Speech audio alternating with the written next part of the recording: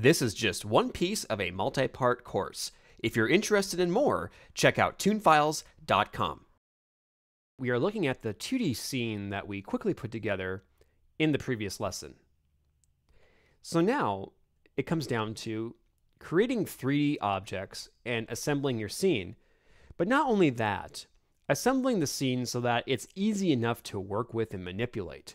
Because sometimes when you go from 2D to 3D inside of Moho, things can get a little bit wonky and it can be hard to tell what's going on. So just as long as we have everything properly set up, we should be good to go. Now, the first thing you want to keep in mind when doing this is you should always, or at least I recommend you should always make a group layer when assembling a 3D scene. If you put all of your 3D assets inside of a group, it'll make controlling the scene easier and it essentially gives you access to a second camera.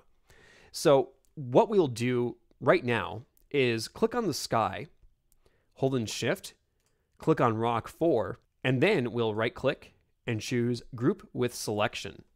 So now this will put everything into its own folder. I'm going to name it scene and then hit enter.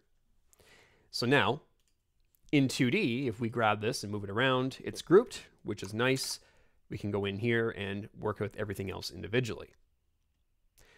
So now the next thing we want to do is convert everything to 3D. So we'll double click on Rock 4, and that's going to bring up our layers settings. Now on the far right on the top is a tab called 3D Options. So tap on that, and here you can see we have 3D conversion set to none. Let's go down and change this to extrude. And for right now, we're going to come in and remove the silhouettes, materials, and creases because sometimes that doesn't quite work how we want it, and it can lead to some weird coloring issues when you have the 3D objects moving. But we'll keep shading set to toon right now. Again, that's something else we might change, not really sure yet. So now, before you go in and apply this, we want to come over here to our layers and make sure we select them all just by clicking once on rock 4, holding in shift, and then clicking on sky. Now, I guess my options didn't quite save, but that's okay. Just make sure it's set to extrude, your edges are turned off, and it's set to toon. And once you're good, you can click OK. And this should now apply the settings to all the layers. So here, we're looking at a scene and it looks terrible because all we see is the sky. What's going on? Well, it's the way it's rendering things out and also the layer ordering. When you're working in 3D space in Moho, you can work with 3D two different ways.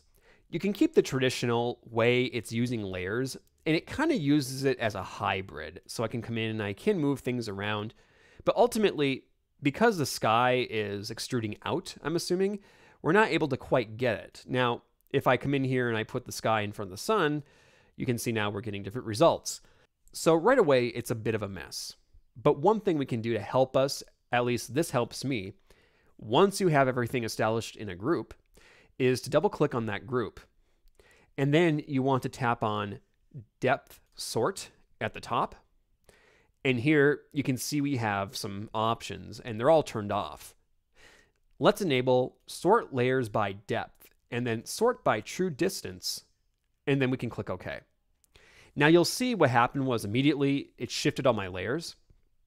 And all this means is now when I'm going through and I'm trying to reorder my layers, let's say I want rock 2 above sky, I can't do it. You can see no matter what I do, I can't get that layer to go above the sky in the layer ordering.